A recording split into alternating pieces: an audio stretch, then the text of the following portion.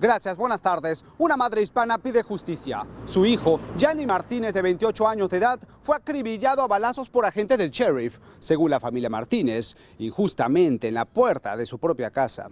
Queremos justicia, señores, no estén matando gente inocente.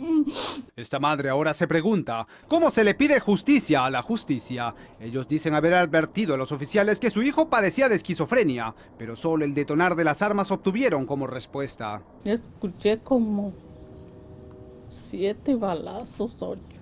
Yanni, de 28 años de edad, falleció en la escena donde los oficiales abrieron fuego, la cuadra 1100 de la calle 75. Llamamos a la policía para que ayudarnos.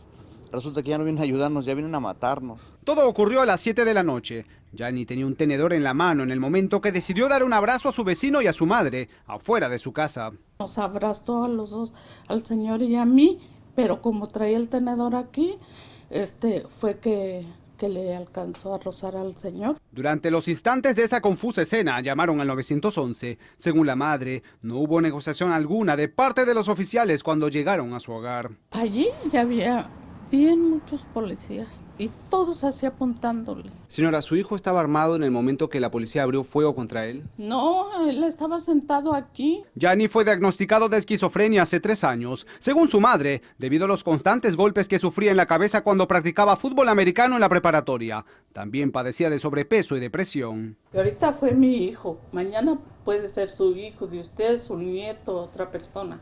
Sumado a la impotencia y el dolor, esta familia de bajos recursos debe enfrentar los gastos de miles de dólares que no tienen y piden de su cooperación para dar una cristiana sepultura a Yanni. Reportando desde el sur de Los Ángeles, José Luis Muñoz, Noticias 62, tu ciudad, tu equipo.